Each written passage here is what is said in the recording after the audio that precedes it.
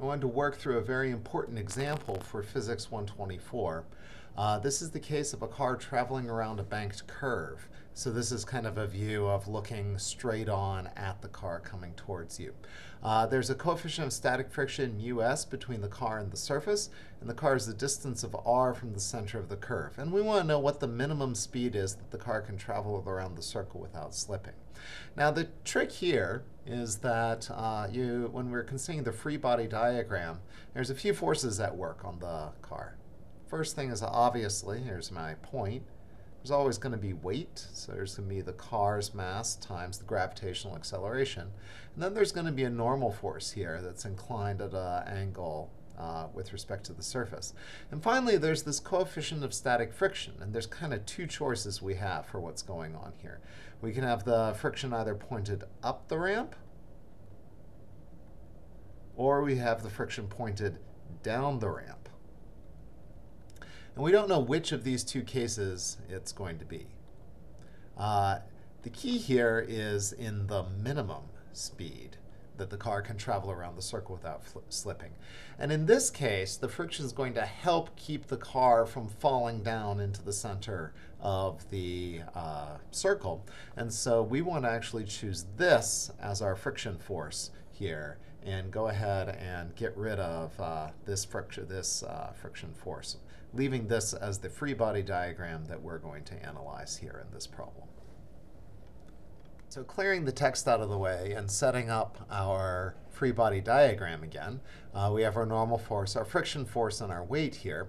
Uh, next thing to do in a Newton third law problem, Newton second law problem, is to draw a coordinate system. And for this problem, I'm going to pick this coordinate system where x is pointing straight towards the center of the circle and y is going up.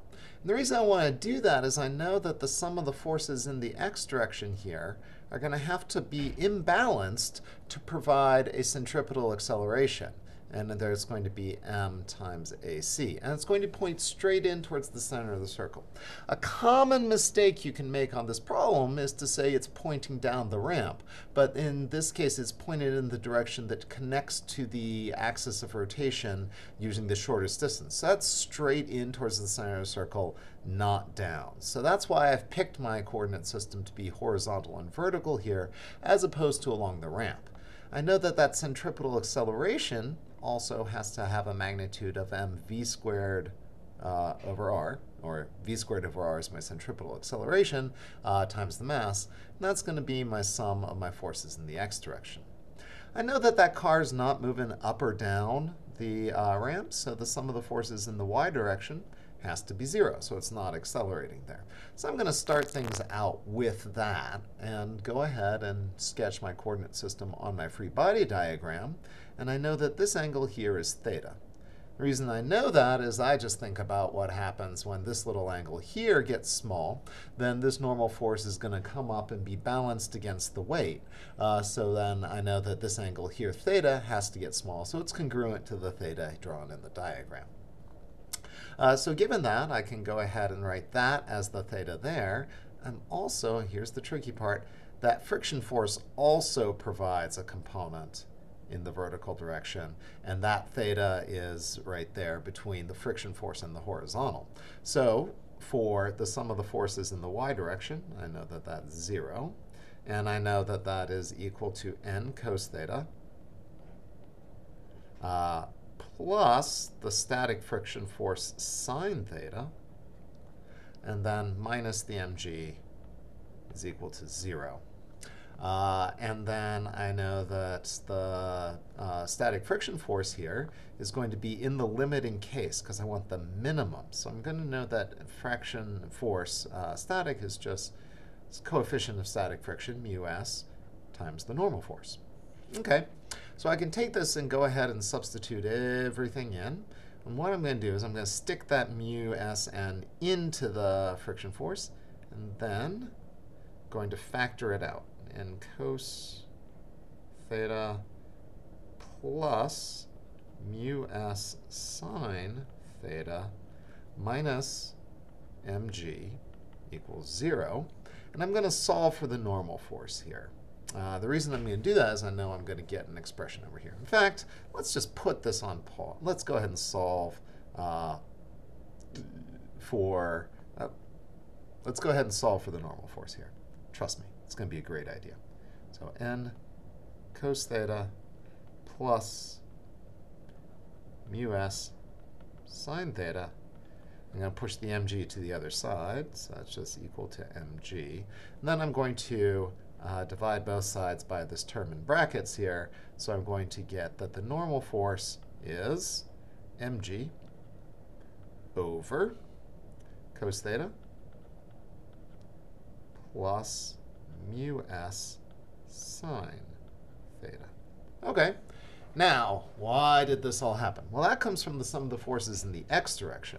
And so if I break those down there, I know that that has to give me my mv squared over r, some of, sum of the forces in the x direction. Looks like we got that normal forces pointing inwards. That's in the plus x direction, n sine theta.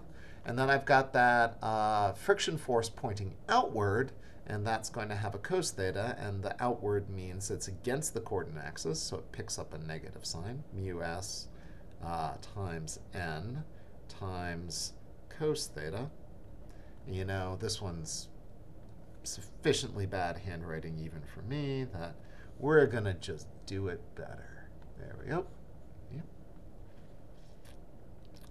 Mu s n cos theta. And I know that that has to be my centripetal acceleration times the mass, m v squared over r. Okay, so this is why we wanted to solve for the normal forces. Both of these terms on the right hand, left, left hand side are the, I have the normal force, so I'm going to go ahead and factor that out.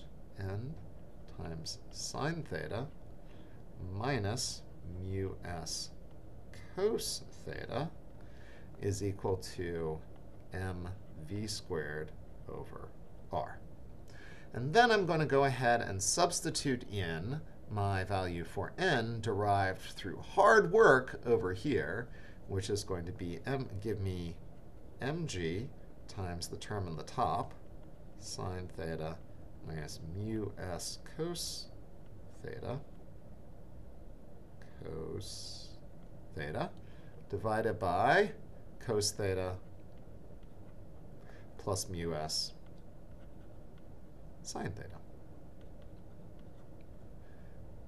On the bottom. And that's going to be equal to mv squared over r. Whew, running out of room. So let's go to the, the home stretch here. We've got an expression here, and believe it or not, we were going after solving for this uh, speed v. That would be the minimum speed it would take to uh, stay in this situation. So all we have to do now is start solving for v. First thing I notice is that there's an m on both sides, so I'm going to cancel that out. Solution doesn't depend on the mass of the car. And I'm going to multiply both sides by r, which will cancel the one in the bottom.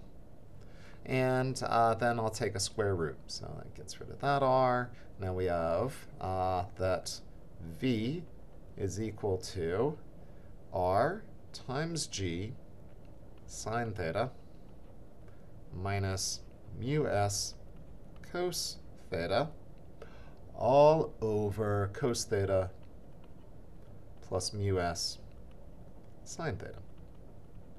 And wait, there's that radical. Take the square of the whole thing, and we get our answer. Yay. Wow. Pretty trippy happy face. Anyways, I just want to note that what would happen if I asked for the maximum speed instead max instead, is we would solve it the exact same way, except we'd have to set up our free body diagram a little different. We would have our weight still, and we'd still have a normal force, except this time the friction force would be helping us keep uh, providing that centripetal acceleration. So it would be pointing in the same direction as the normal force. And you can do the exact same math, except the friction force is going in the opposite direction. In fact, you can go ahead and just change the answer here, because the math flows all the way through, except this minus sign becomes a plus, and this plus becomes a minus. And if you know those things, you can go ahead and solve it for the max speed uh, when everything comes through. That smiley face is scaring me. There we are. Better. Okay, so this will allow you to solve both of the banked curve cases. Hope that was helpful.